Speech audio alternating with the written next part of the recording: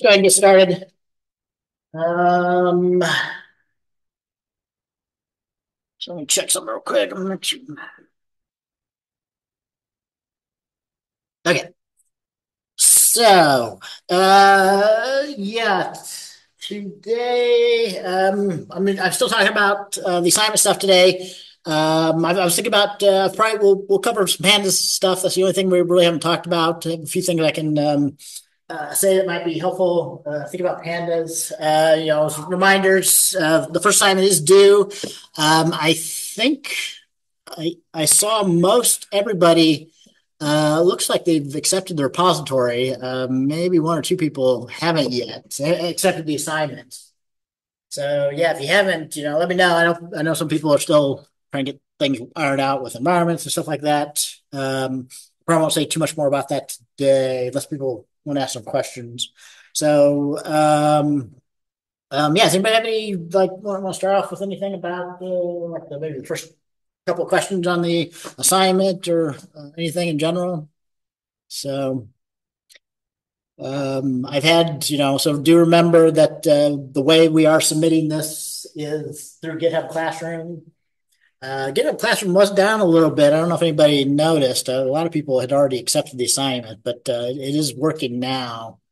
So um, so um, yeah, I'll, I'll, be checking these. Uh, I still have a due date. Yeah, tomorrow. Um, you should uh, endeavor. You should try and get your things you're working by tomorrow. Um, this first assignment, I'll see. You know, I might still accept some stuff on Saturday or Sunday, but uh, don't don't uh, count on it. So, so try and get uh, what you can done um, by tomorrow. I, I don't. Uh, um, you can take the whole day. I, I might have set the time for 5 p.m., but um, you can, um, as long as you get it in sometime Friday, I probably won't be able to start till Saturday anyway on this assignment. So, yeah, I did set for 5 p.m., but uh, it is go it is it is okay to keep working on it past 5 p.m. That won't be an issue. So, um, okay. So if no questions and hopefully, oh, and, and just another uh, note, uh, since I still continue having problems with Zoom, I did get up the last one, although it got cut off a little bit. Um, so as a reminder, if, if you're interested in those, um, there's a link that I'll be putting for the actual class sessions that I do in the additional resources. Um, any ones that survive. So I, I still, I think I know what the problem is, but I don't think there's an actual fix yet Zoom isn't very nice for they don't consider Linux a very big um, priority for them. So uh, I, I, might try and like actually stop uh, my Zoom and restart it uh, once or twice here. Uh, just to try it. seems like it is a memory leak. I'm kind of convinced that's what I'm seeing. And, and uh, once the once it leaks too much memory, it just slows down and halts on me. So uh, so yeah, I'm, I'm going to try and maybe break it up into one or two logical parts here, and uh, so we'll take maybe a minute or two break while I stop things and restart them. Um, all right. So let me um, um, um, um, let's go through the the notebook on pandas first a little bit. So uh, let me go ahead and uh, do the usual to open up my assignment. Um, so let's uh, open the folder. Or I don't know if I showed this before, but you know, once you've created the container, you should be able to find it um, and run in here. Although I don't have good names for some of these things, I think this is my. Let's check if this is my. No, that's not the right one.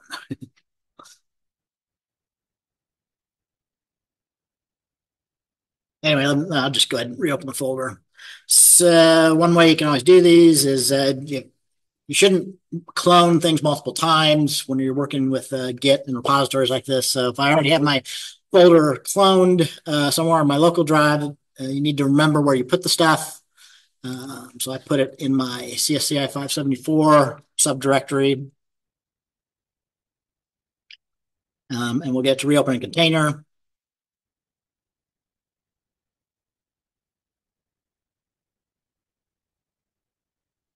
and uh, it'll start my Jupyter for me. So I'll open up Jupyter using the uh, Jupyter lab that's running in my container here.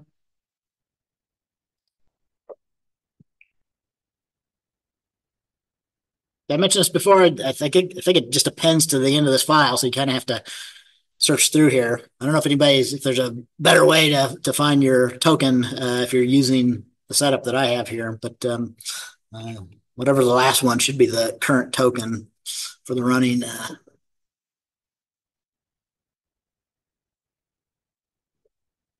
for the running Jupyter Lab server. So I'd be happy if, if has any questions about the first task or the other two. We talked a lot about those on Tuesday, but uh, I can go back to those.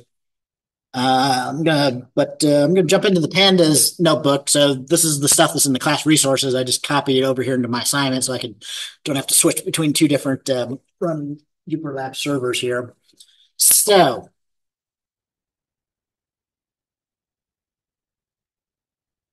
um, Pandas is a good tool to use to learn. Uh, it provides the, the way I think of Pandas is it provides a data frame uh, object. I'll talk more about. If is anybody an R programmer here? Anybody familiar with using R? So, uh, from my understanding, I'm I'm conversant in R. Uh, I mean, basically, the the thing R is used for statistical calculations. The big data structure in R is a data frame. So the uh, the, the the way that a data frame it, it's, always a two dimensional table. So the way I always think of a data frame, almost always like a two dimensional table is the best way to think of it. So uh, you think of it as a table. Each row, like we talked about, you can index these by numbers or other ways. Um, is a sample for an experiment um, or um, some measurement that you're doing. But unlike for NumPy, the columns, all the data doesn't have to be of different types. So one of the big differences between a data frame in pandas and a NumPy array is these columns, you know, I can have an integer column. Uh, we'll have some examples here. Uh, I got column strings. And I don't, don't, know if it's important for this class, but um, basically each column is represented as a, uh, a, a pandas series. Um, so, really a, a data frame is a collection of multiple series. But there's a relationship. So every one of these series has to have exactly the same number of samples. So I can refer to the, um, the, the, user ID for um, index zero and the username. That was my first two columns of my data frame. But the, the big purpose for a data frame is it's really meant to hold uh, sampled data of also the kind that we use in machine learning or use in statistical analysis um, uh, of, of, different types, but then we want to usually build a model. So often in a data frame or, or in a table like we did in this class, we have things that we're doing supervised learning. One of these columns uh, will usually be like the, the targets. I want to build a model for supervised learning. So this might be, we're doing uh, binary classification that we'll be talking about later in this, this class. Um, it might be a binary value, yes, no, or zero or one, um, that, that we ultimately use uh, as the target to do supervised learning, supervised training. Um,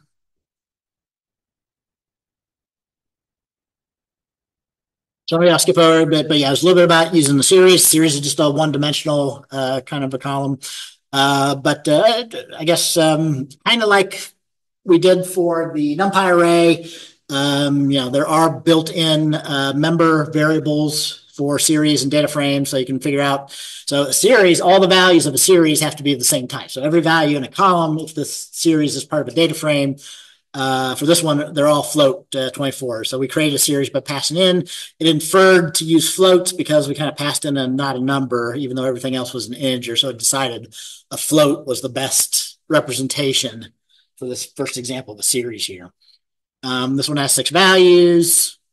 Um, uh, one thing about, so uh, um, I implied it here, but uh, the series or the columns have names. So instead of like for, for Python, uh, for, for a, um, a NumPy array, we always have to use integer indexes for rows and columns. But for pandas, if you find yourself using a lot of integer indexes, you're probably doing it wrong, especially if you're pulling out a particular column of some feature that you want to do something with. So, so uh, columns or series have a name. And so we often use that uh, instead of using uh, some uh, integer index value uh, to, to get, you know, the frequency or whatever particular feature that we're interested in. If you haven't looked at this notebook, um, we show some examples of that. And that's, this is kind of the stuff that you have to do for the fourth question uh, for the assignment that's due tomorrow.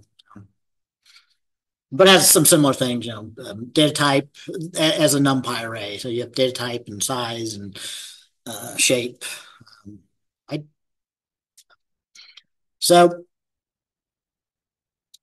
like we show here, I mean, it is possible to index um, um, a series by the index, by, by the integer index. So you can get the, the value, uh, the first one at index zero, um, or you can also slice and stuff. So we can get the first uh, three values, zero, one, and two indexes.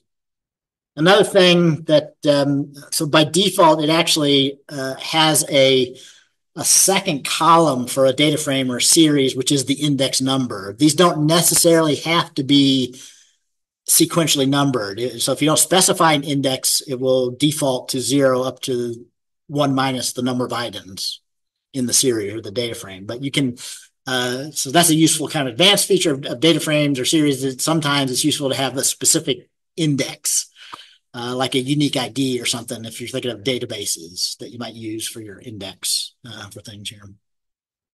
Um, so uh, uh you have to know a little bit about using not a numbers, uh, NANs, um, or other things.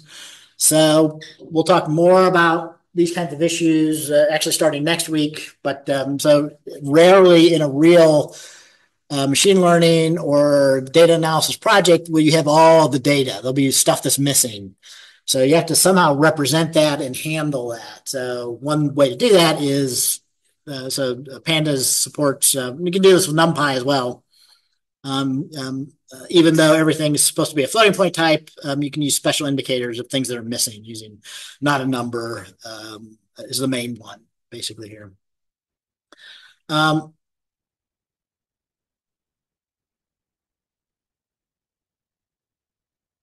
Okay, but so we'll mostly be doing stuff with data frames. I, I guess it is good to know that that behind the scenes is using a series. We rarely in this class will have to drop to an individual instance of a series to do stuff. Um, so um, um, an easy way to create a data frame is to use a dictionary, uh, a Python dictionary type, right? So what happens with the dictionary, if you use that to initialize a data frame with it, is it's going to use the keys uh, to create each of the series. Um, oh, yeah, I guess in this case, we actually, we explicitly have to pass in uh, something that is a sequence-like kind of thing. So you can pass in a series for each one of the, the, the columns that we're going to create for the data frame, but it will interpret other things. So uh, like a NumPy array, as long as all of these are the same size, all these have to have the same number of values uh, in order to initialize a data frame like this. I guess that's not true. So yeah, um, so so I lie. Um, uh, if you pass in something that's like a single value, uh, it defaults to re repeating that the number of times needed. So for A and, and G, uh, we're just going to get those particular values repeated for all of the um, whatever the largest one of these uh, series were. Um,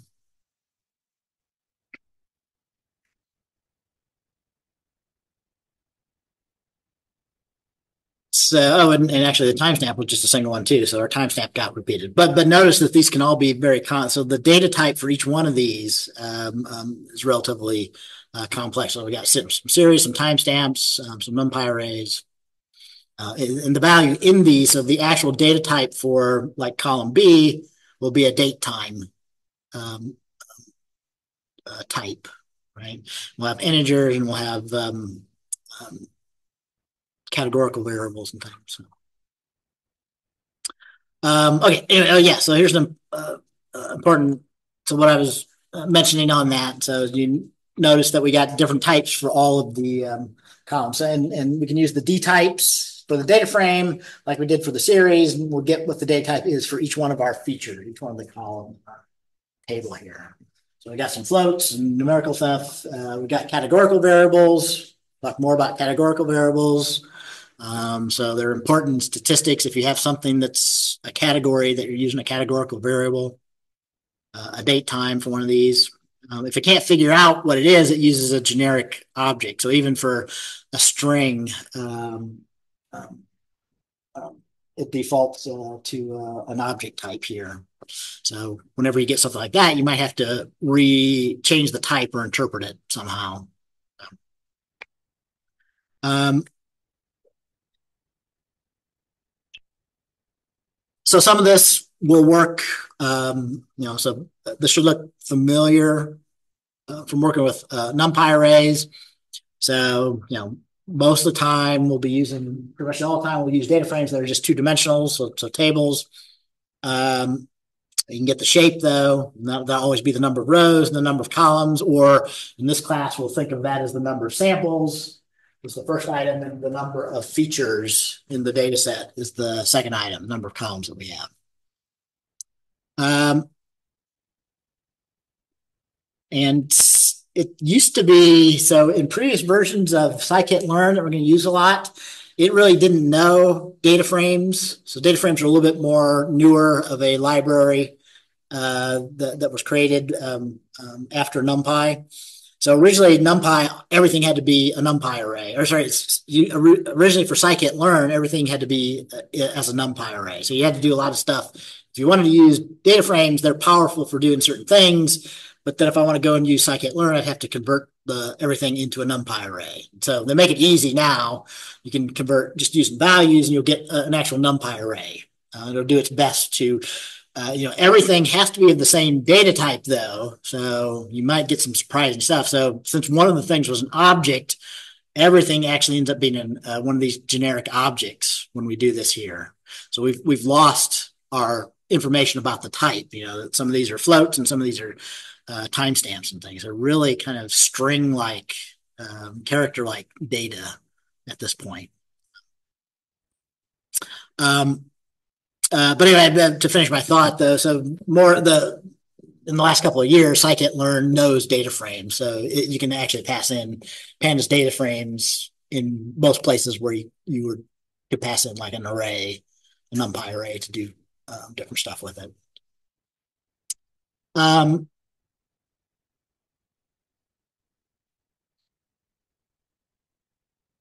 okay, so then some stuff that uh, you'll need for the fourth question. So uh, I already mentioned that if if you're using data frames, they're meant to be, you know, uh, think you think of each one of these as a feature. So one of the most basic things you can do is get one particular feature from the data frame. So so the name of the the, the feature, the name of the column uh, is always going to be a member variable that you can access. So what we're doing here is this particular data frame that has two series of, of integer or float values uh, for the data type, uh, we can access the, the feature B or the feature A using the, the dot operator, right? You can access, I'll probably do it later on here. I mean, you can access by an, an index, but uh, for the most part, you really should be using the symbolic names when you're working with uh, um, features uh, for a data frame like this. Um, so yeah, in this case, what the, the B was, um, um,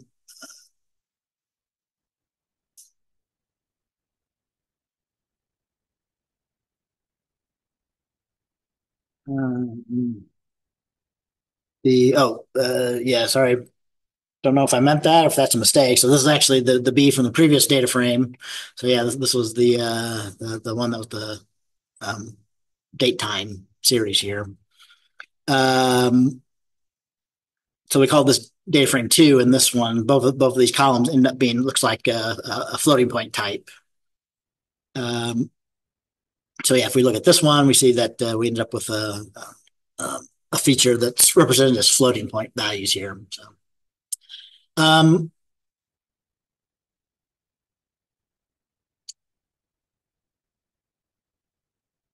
All right. Okay. Moving on then. Um, so most of the fourth question is going to be accessing stuff uh, in a data frame. or manipulating or adding like a new feature, a new column on the data frame, that kind of stuff. So, so most of those, we give some examples, uh, if you've read this notebook of doing that kind of stuff. Um,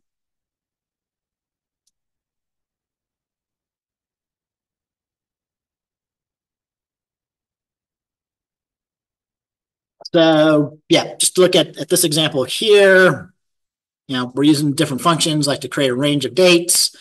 Um,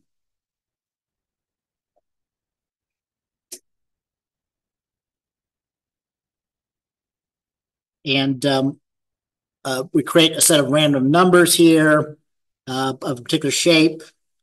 So, uh, uh, uh yeah, um, did we use, anyway, let's on the second example, we're, we're, only using this this array of random numbers of particular shape, 60 by 26. So we'll end up with, oh, oh we use the dates for the index. Yeah, so we're showing uh, an example of, uh, of setting the um, a more complex index here, right? So instead of a, the default integer index, you would have, if, if you want to index into this data frame, you'd have to select it by a particular date or particular date range to get uh, uh some sample out of here.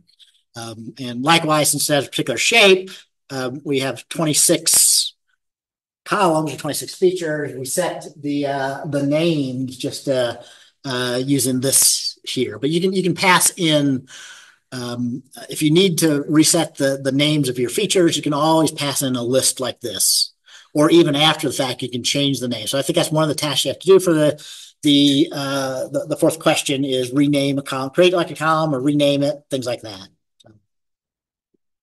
Um, so um, you guys get a, sample of values, like the, the first five or last three or last five, or however many you want.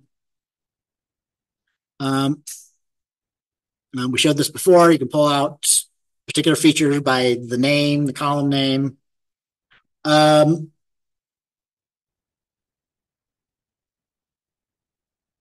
okay, and this I want to get down to here. Okay, so the, there's more about selecting the data here. Um, um, so there, there's lots of different ways you can pull out a set of samples or a set of features um, and do stuff with them in uh, Pandas data frame.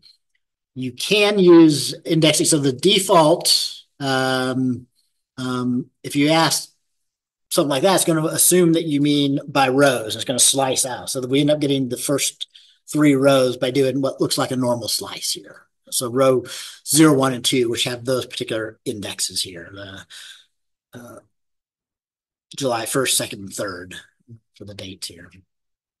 Um,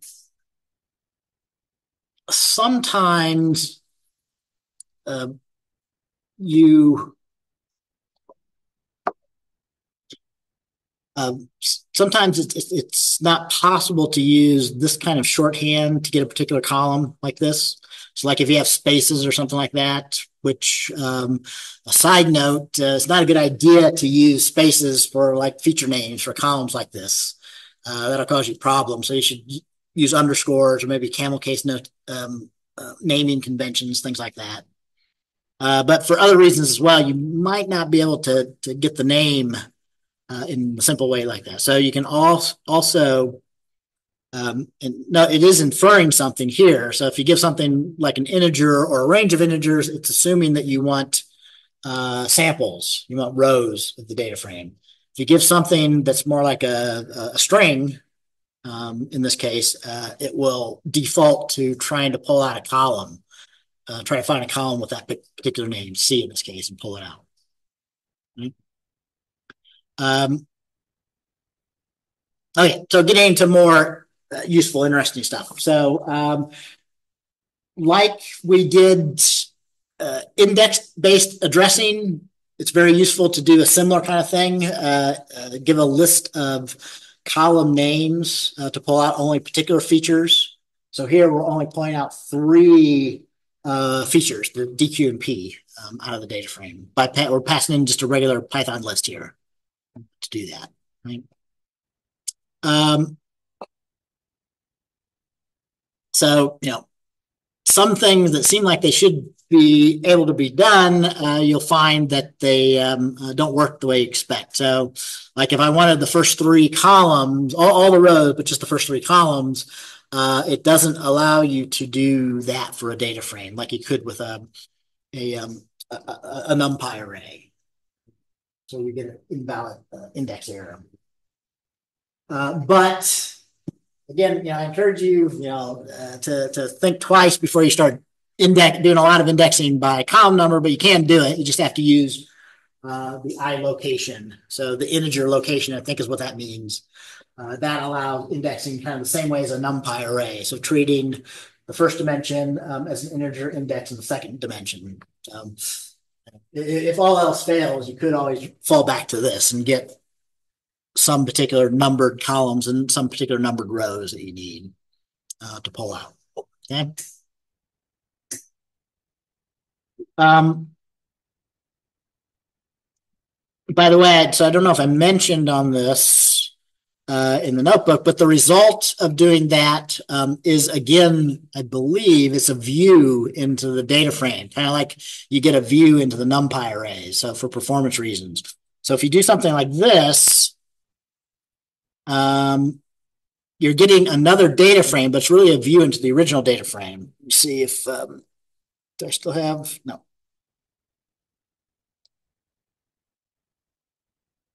Let me rerun everything above that so I get back to this uh, data frame that we're working on at this point.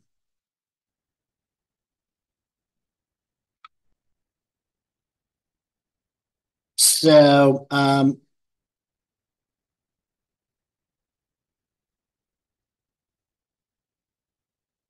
if you do something like that, like we showed before,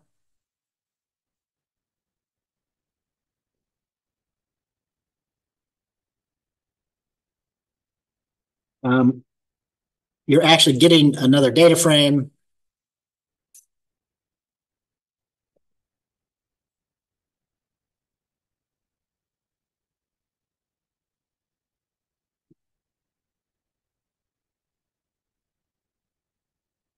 Another view into your uh, data frame here.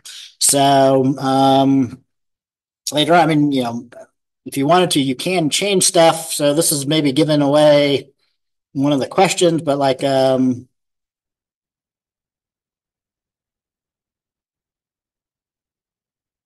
so like if we want to say add 10 to this first column here, skipping ahead to some of the other examples. Um,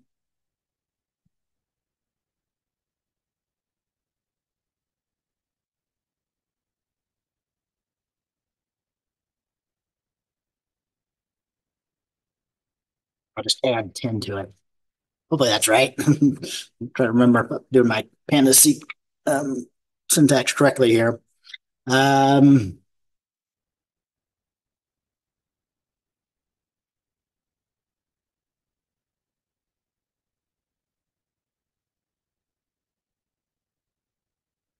hmm. Yeah, I thought that was allowed.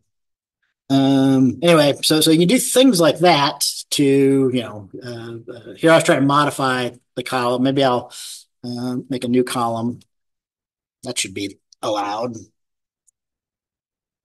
No.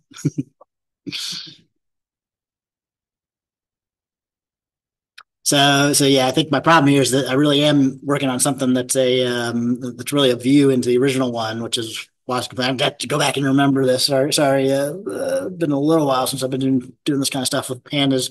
So, um, so yeah, I was trying to show that that, that would actually modify the original one, but uh, uh, we could probably, like we did before, make a copy here, um, and then then would be fine with all this stuff.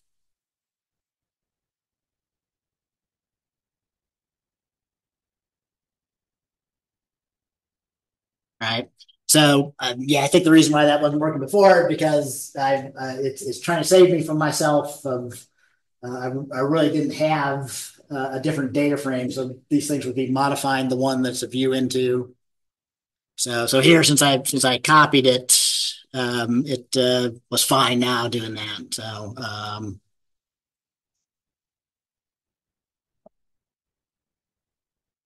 So if we look at our A now, um, should have added 10 to all those. So they're all a lot bigger, 10 something. Right. Um, but yeah, there's a way to change these in place. Uh, hopefully there's an example of that kind of stuff. Um, so I know on your fourth question, you have to add like a zip code column and modify the type and change the name of it, some other stuff like that. Um, all right, continue on with these examples. So you can use that iloc look to um, uh, do the same kind of slicing by uh, index numbers um, that we saw before.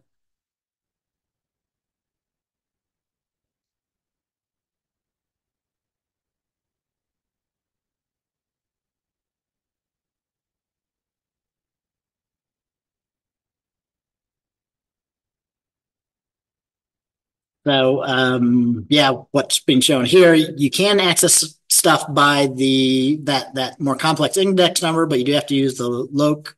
So if we pass in the the 30th date that we had as an index, this is really pulling out the series of that one particular sample for that for that date that we just looked at here. So um, oh, right there it is. So so yeah, this this was the the values for the date 731 uh, that we had indexed in the data frame um, here. Um,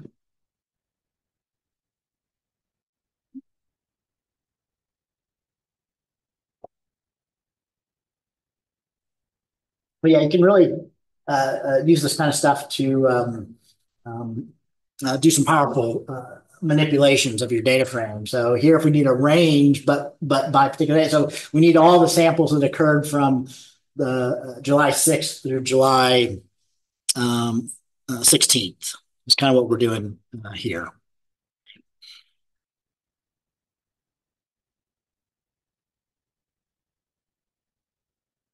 And, and you can actually pass in uh, symbolic names if it knows how to convert that to the date time type. So we're doing the same slice here, but passing in strings that it interprets as the the same as the index um, and, and, gets out uh, those particular things. Um, so you can use location to get a particular column, although it's better to use uh, the, the previous things that we showed. So uh, just use the, the name of the column or the dot name of the column. But um, um, um, and you can pull out like a range of columns, um, doing different things.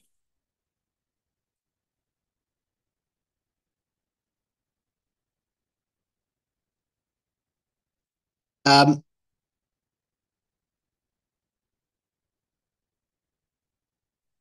yeah. Oh, and, and uh, right. So we um, have um, some things on the fourth one where you're supposed to uh, add a new column and um, uh, rename and do some things like that. So you have to do some uh, similar stuff as it's shown in here. So here we're uh, actually um, um, taking out uh, particular columns uh, so that we can move them back to the front. So um, all this does is rename the, uh, the, the, the, the, names of, the, of, of our columns here. So we create a new list. Um, um, and so I don't know if it's obvious what's happening here. So originally we had them from A through Z. So by doing this indexing here, uh, a new data frame is created, uh, but um, um, with that particular order. So here we're using uh, passing in a list to get out uh, the particular item. We're still getting all the columns, uh, but um, we um, get them in so whatever order you pass in the values here, you'll get them out uh, when you do this. All right, um, so let's continue on with these examples here. Uh, are we Boolean indexing? Um, oh, so we spent a little bit of time on Boolean indexing for NumPy arrays. Um, so you, you, can do some similar things uh, for um, uh, uh, pandas data frames here. So, um, which you know, uh, will will also be useful when you do a lot of things like this. So if we want to get only particular values out of the data frame where the M column is in a particular range, one to negative one, um, uh, we can do things like that, right? So uh, if it's easier, we can first kind of create our mask. So uh, I, I, find it useful to break things like this down step by step, right? Understand them. So all we're doing, for example, first of all, if I still have my same data frame here, um, uh, we're returning a Boolean result. So basically, this is false every place where uh, the value is um, uh, less than or equal to one, and, and, true every place where it's greater than one. Uh, when we did this on the column M here, right? Um, and we can combine those. So if we want all the places where it's greater than uh, one or you know where it's not between one and negative one, where it's either bigger than one or less than one.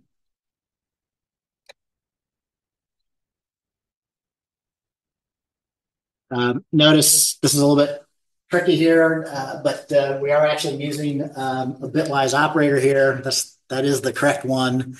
Uh, if you're doing uh, in, in, this context here, um, uh, where, where, I'm basically trying to combine two Boolean series in this case into a, a new one. So, so it should just give me the and of those.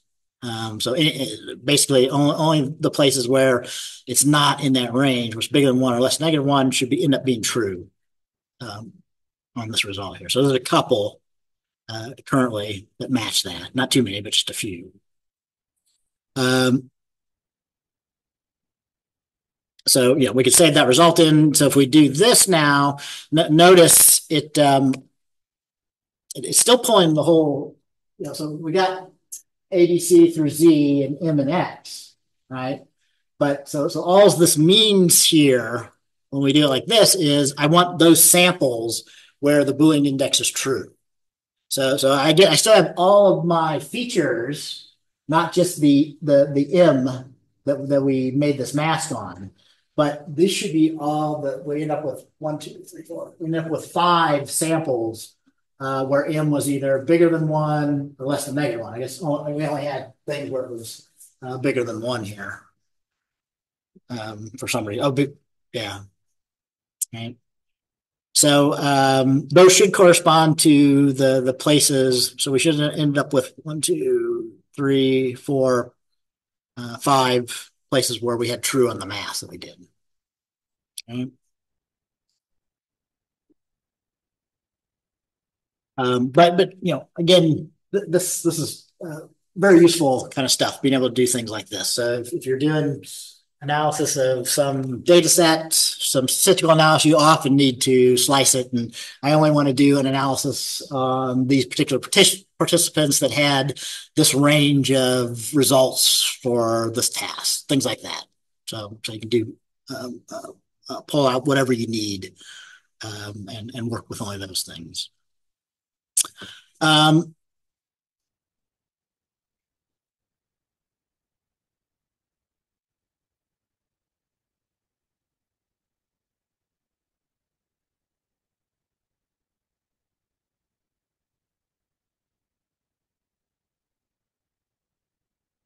So uh, we will later talk more about categorical data here. So we're going we're given a, an example of using uh, categorical data.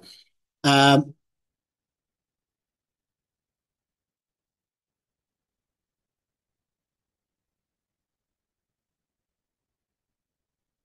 um, well, yeah, I, guess the the the, best uh, uh, one use of this example is we were adding in another category. Um, so, or another uh, column. So if, if, uh, if you want to add in a new uh, column, as long as you have exactly the same number as the number of rows, you know, same number of samples uh, in our category here, um, we can take, so again, this, I guess, you know, this is kind of necessary if I want to do things like add and actually add and remove columns and stuff. All right, so we actually have a, a copy of the data frame two uh, of the data frame that we have here. Um, and this is a, appending a new um, column here called cat. Um, all right.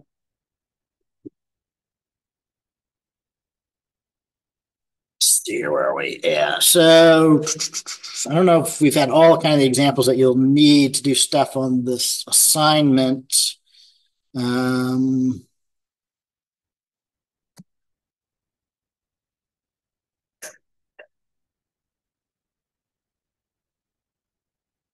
so some more examples of using mask at this point.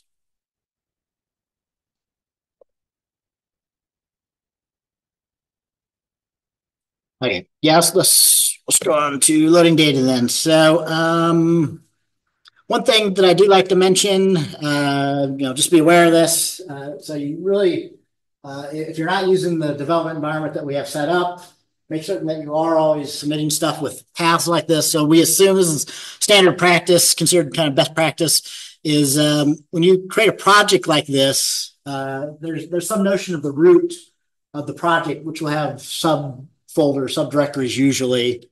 So like in this assignment one, we have a bunch of them. So um, the notebooks are in the notebooks subdirectory. Uh, we do have a data file that you need for the fourth part for the, the assignment. Um, um, oh, um, we should have uh, the parasite data in there. I'll have to check. I don't know if anybody's done number four yet. I don't seem to see it in my um, uh, my assignment one here, uh, clone of the repository that I had. So if that's missing, I'll fix that. Uh,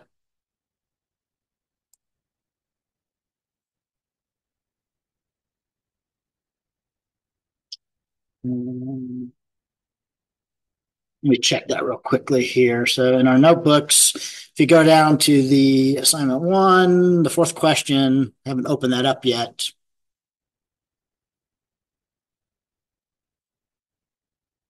Uh, oh, okay. Yeah, I guess I, just changed the name. So it is expecting um, uh, uh for your fourth problem, it's going to be working with this data that it loads from that file. So, but yeah, back to the point I was making. So, this is pretty common.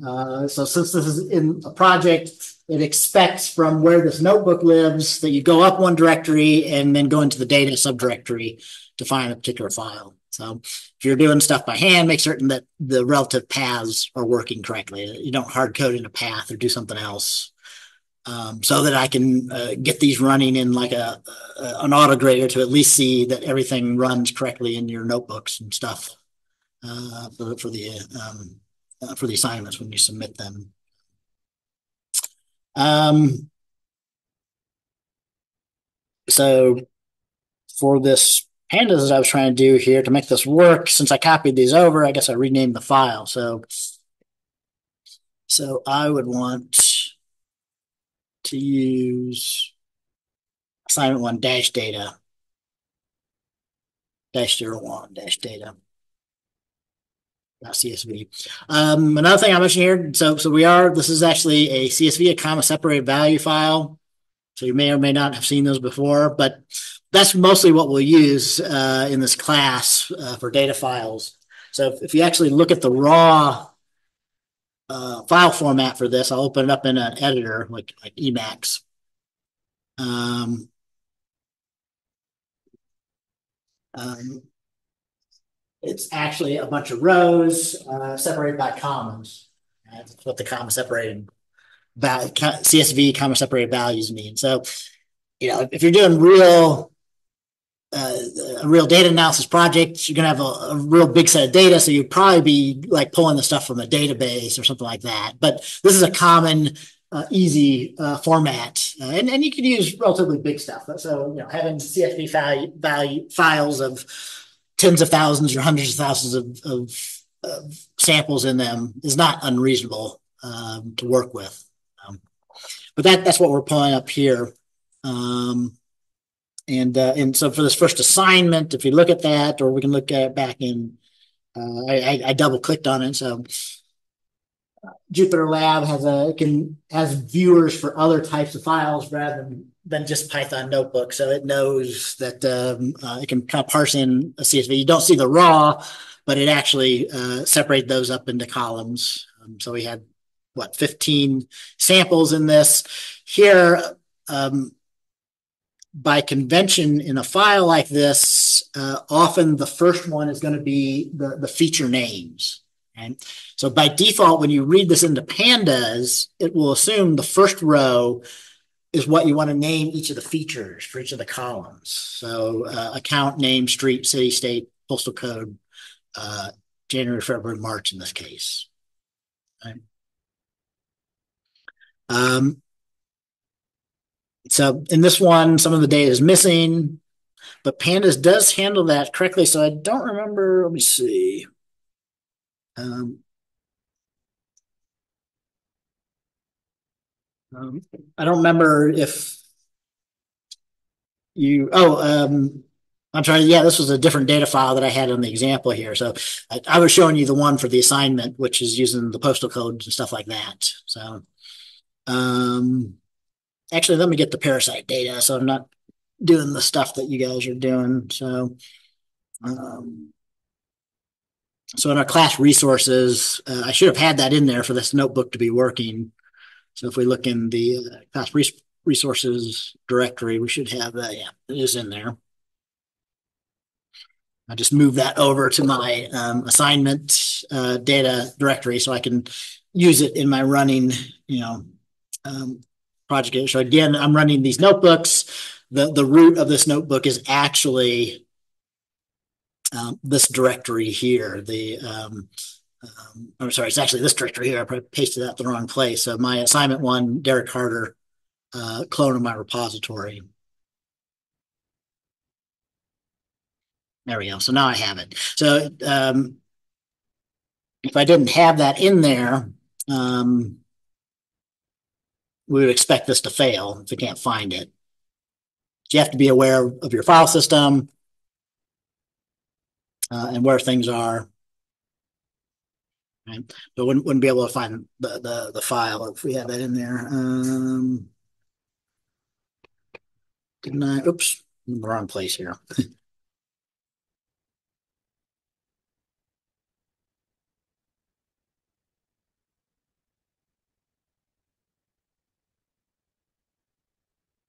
go. So, um, so yeah, if it can't find and not, not real helpful use, usage message or error message, but, um, but yeah. Uh, so as long as that file's there, one directory up relative, it should be able to open it, put that back into my um, assignment one repository.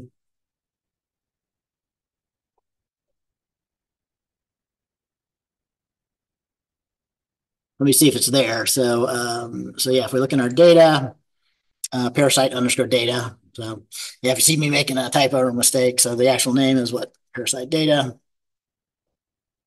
There we go.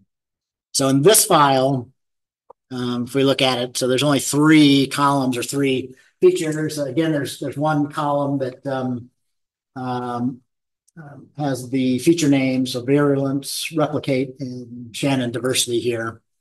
Um, and I don't remember. So there's some values of zero. I don't remember if there's any missing values in this one. There's a few. Yeah.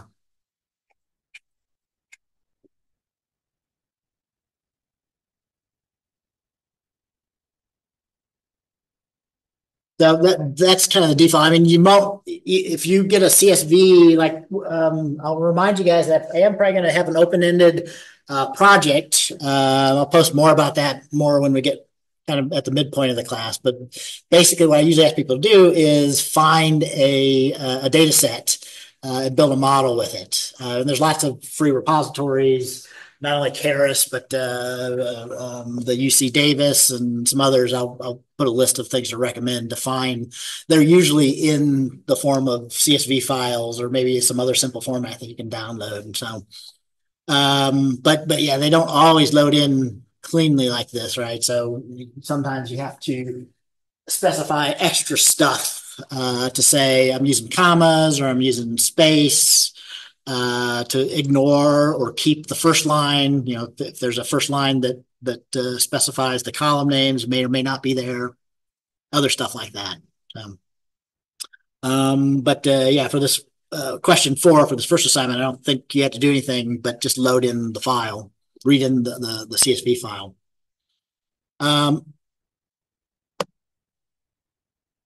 so in this example, we have what 350 samples um, of three different features. Those three different features got read in. Um, and I kind of ask you to do this on the first one for the question four. So yeah, if you want to look, uh, so head is usually, you know, if I, I need to get a feel for kind of just what the data is, I might want to sample randomly. Uh, we're just getting the first five uh, samples here, but um, um, so I can see that I got some value 0.5. Kind of a question of whether is it all 0.5? What does virulence mean? Is there other values in there? Um, replicate. So um, this probably is um, like an experiment number. So we were probably replicating some set of conditions, some number of times. Um, so we can see it goes up to 1 to uh, 50.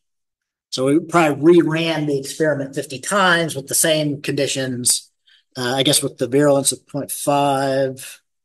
And then we then we reran it 50 times with 0.6 and so on. Looks like what's happening on this uh, data set here. But um, you know, I'm just going. This is the kind of stuff. If I do with like an unfamiliar data set, um, uh, the, the first thing you'll do is you want to do a little bit of data exploration. So you want to probably open up the raw file um, and uh, see what's in there. Uh, and then you'll want to load it into a data frame uh, and then begin trying to figure out, ask, asking some questions. You know, so if you don't have what's known as a data dictionary, a description of what all these fields are and what the data is, you might have to infer things or do some exploration to find out what you have. So uh, we talk a little bit about that kind of stuff starting next week. Um,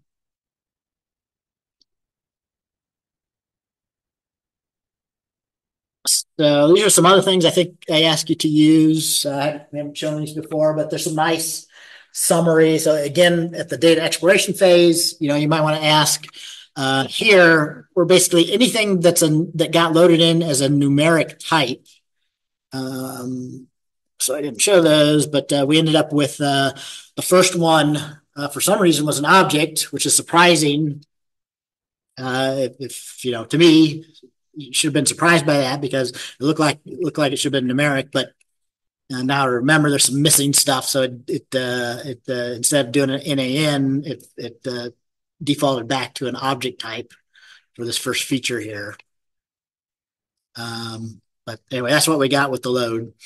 Um, uh, but we did get an integer uh, and a float for the other two types.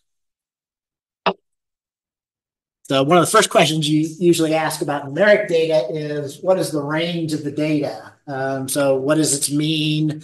What's its variance? What's the standard deviation? So describe anything that's a numeric type. It'll calculate all that stuff for you. So that gives you kind of a good summary, at least of the numeric data that you have in a data frame when you're doing your initial exploration, right? So this is showing me that I had 350 samples for both of these. Uh, these are the means, the variance or the standard deviation, uh, the min and the max, and then the range. So you get quartiles or percentiles. Um, so 25% of the values were between 1 and 13 on the replicate. Then that's not very useful for this one because we know from looking at that replicate went from 1 to 50. So that was really just the uh, uh, uh, uh experiment number for the same condition that we were doing. Uh, but here it might be more useful for this. So Shannon diversity was was ranging from 0.8 to 2.9. 25% of the values in the Shannon diversity were zero or lower. So a lot of them had a zero. 20, 25% or over them had a Shannon diversity of zero. Looking at that. So only when we got to 50%, so 50% of them had 0.84 or smaller. Shannon diversity. And that should be, uh, uh, this is the median. So the 50, 50th percentile is, would be the same as the median. So it might not be the same as the, the mean that you got. Mean and median are different. Um, and that reminds me, um, starting some thinking, beginning to think about next week. Um, we'll be getting into machine learning uh, proper kind of next week, um, but there are some um, um, there are some recommended. Actually, maybe not until week four do I have some of those.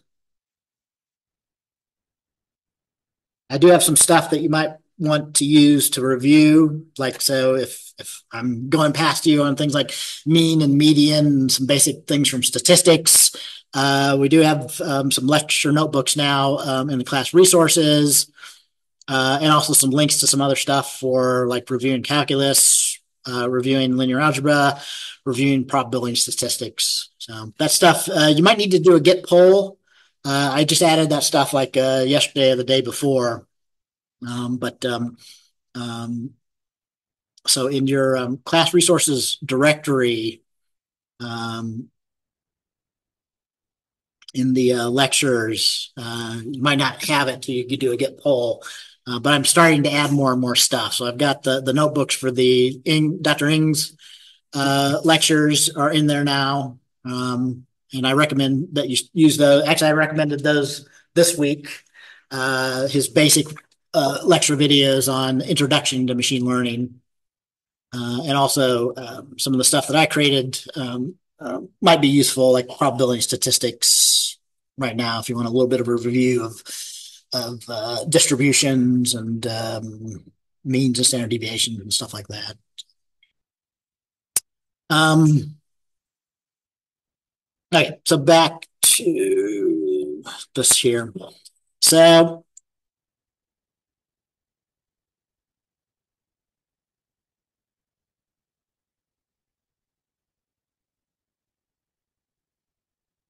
um, can't remember if I actually do something like this, but um, you know, one thing for data exploration is um, um, we might want to figure out, like if we have categorical data, so one thing you can use is something like this, value counts. So again, this isn't uh, really helpful because I've kind of told you what it was, but um, on the um, uh, on the replicate um, um feature here, that's really just the experiment number where we're replicating 50 times for a particular virulence. That's what I'm assuming here, just kind of looking at the data. Uh, so if you look at that, every every one is seven because uh, we ran we, we have 350 total uh, samples because we ran the experiment at seven different virulence levels, repeated it 50 times. So sometimes 50 is 350. But sometimes for, for uh, uh, I don't think I asked you to do this on this current assignment, but you'll need to do things like this on, on future assignments. Is you need to know a particular column might not be numeric, it might be categorical. So I can use that to figure out what are the unique values and how many of each of those values happen on a particular feature, a particular column. So, so this value counts as a, a very useful uh, function that you can call. So notice what we're doing is we're actually, this is a function of a series, right? So by doing replicate, we're pulling out the series for the, for the uh, replicate the feature for that column. And then we're calling the value counts on it here. Um,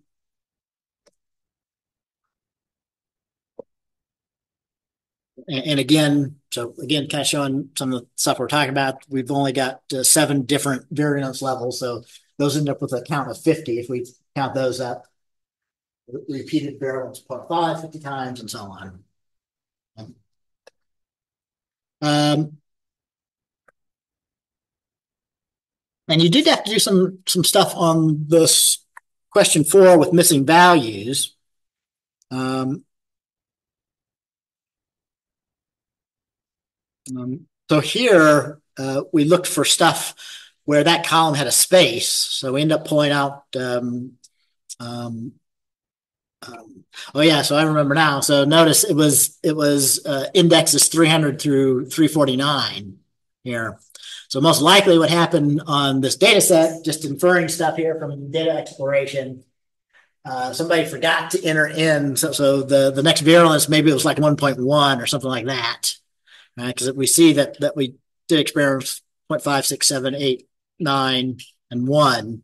So this this was all replications of some virulence level. Not certain what it was, but it looks like that data is missing there um, from this data set. So um,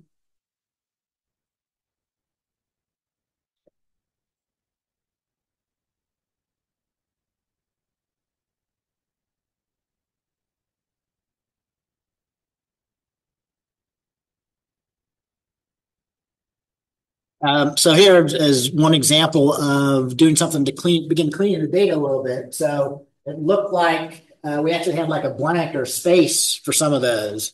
So by uh, by doing this, we actually said anything you see that's like just a single blank space, turn that into an NA value, not not a number value, right? Um, so we end up with something different here if you were looking closely. Um, so instead of being uh, an object we've actually now interpret this as a floating point number for the virulence.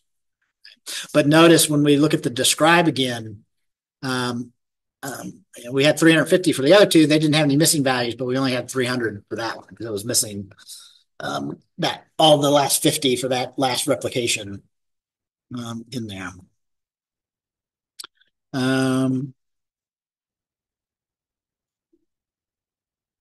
so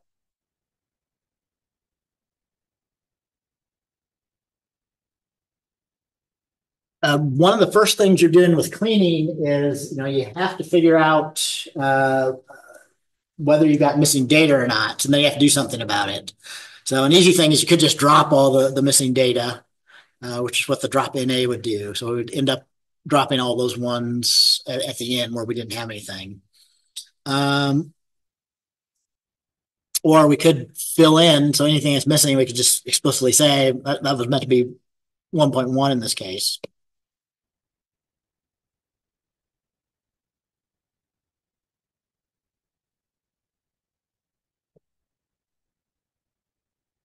So now one of the things you did have to do was find out how many missing values were uh, in different places in the data set you do for the assignment. So there's various ways to do that. You can do it for a particular feature or over the whole data frame. So now after we filled them in, there's nothing missing anymore.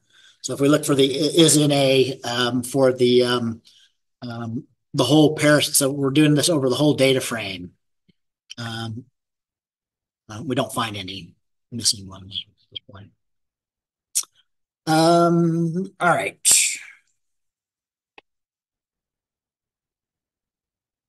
You did the, the very last thing on the, the the last question for the first assignment. Uh, I think uh, you did have to group do a little bit of grouping. Check that here a second. So back to the assignment, uh, ask you to do some stuff with, um, you know, doing some exploration sorts of things. So print out the first five elements. Um, um, I thought I asked you to do some more, but but then uh, do some things like create a new column, um, uh, create, uh, figure out the total uh, of some things.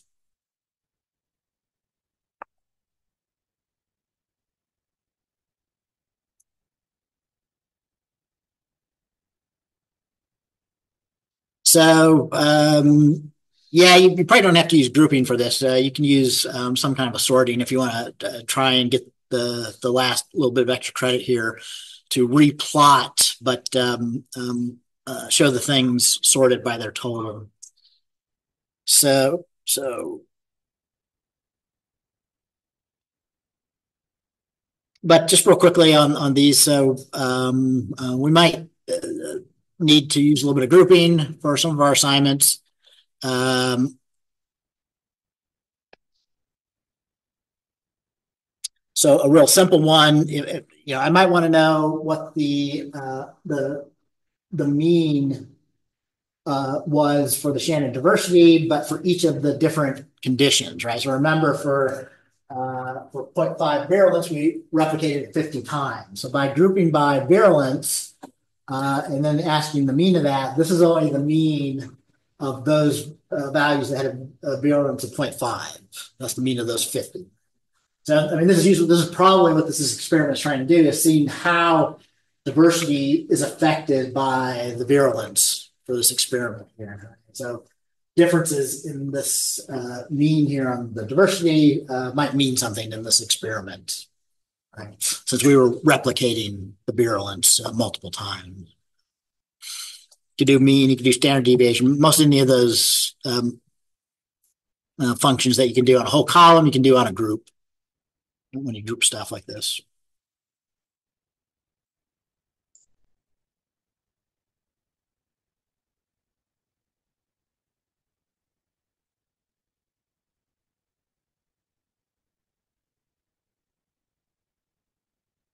So this is, you know, uh, standard deviation or variance is useful to get an idea of, you know, is every is all 50 of the replications about the same mean or, or I'm getting a large um, spread of stuff. So in this case, most of the standard deviations were 0.4 to 0.7. But, um,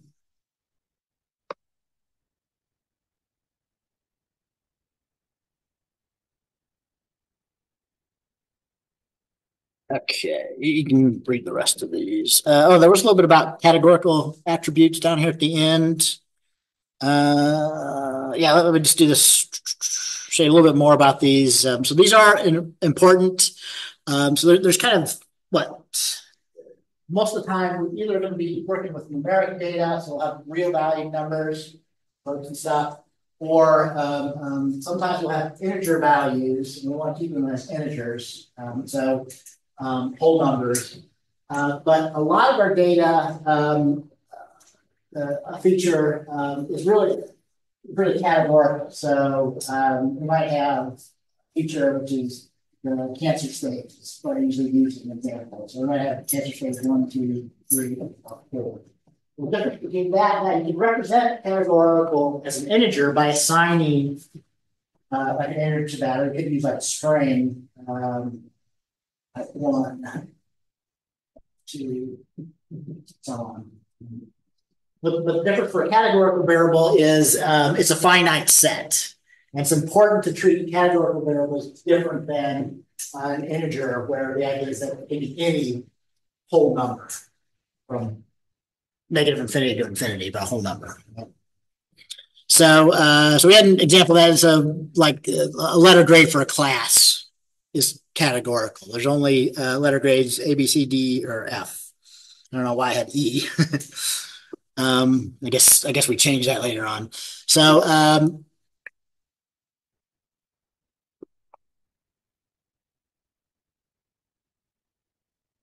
So in this case, um, again, strings usually get defaulted down to that def that object if it doesn't really know how to get into a more specific data type, like a, a float or a, or an int or something. Um, so, um, so anything that's categorical, we really do want to convert into a category data type uh, in order to correctly use it uh, in machine learning and in other contexts, right? So there's an easy way to do that. Just uh, if something is categorical, uh, the default is uh, it will assign basically uh, an integer to each one of those starting at zero. So we've got six, um, uh, we've actually got three categories, uh, A, B, and E, right? and behind the scenes, you can't really see it, but it will actually assign like zero, one, two to the, the, three categories that it did. But if, if we're using the, the data type as categorical, um, um, like this, these are the only valid uh,